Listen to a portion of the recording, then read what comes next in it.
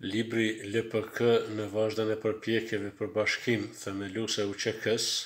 i autorëve Sejdi Gega dhe Fazli Veliu, është një libër faktografik i cili e përfshin një periudhë të gjatë kohore të ilegalitetit, të pjesëmarrësve në ilegalitet, të njerëzve të cilët i bënë hapat e para drejt Bashkimit Kombëtar në ilegalitet si dhe të pasuesve të tjerë të tyre të cilët dhanë një kontribut jashtëzakonisht të madh